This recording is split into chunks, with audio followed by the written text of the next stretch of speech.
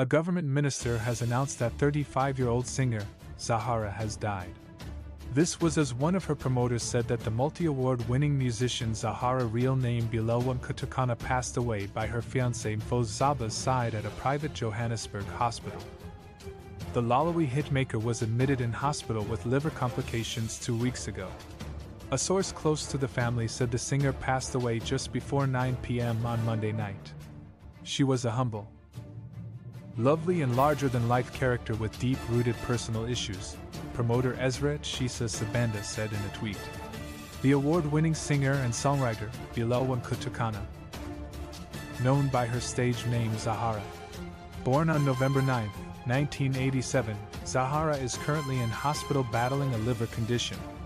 Zahara's musical journey began when she signed a record deal with TS Records, leading to the release of her debut album, Loliwe, in 2011, which achieved double platinum status.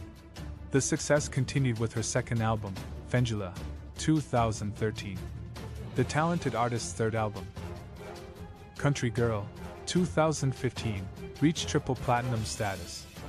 Following her departure from TS Records, Zahara signed with Warner Music, releasing her best selling album, Godi, 2017, which was certified platinum. Her most recent album, Nqaba Yam, 2021, not only peaked at number one on iTunes but showcased her enduring impact on the music industry. Zahara's accolades include an impressive 17 South African Music Awards, 3 Metro FM Awards, and a Nigeria Entertainment Award.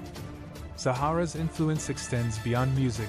She was recognized on the BBC's 2020 list of 100 women and served as a guest judge on the 17th season of Idol's South Africa in 2021.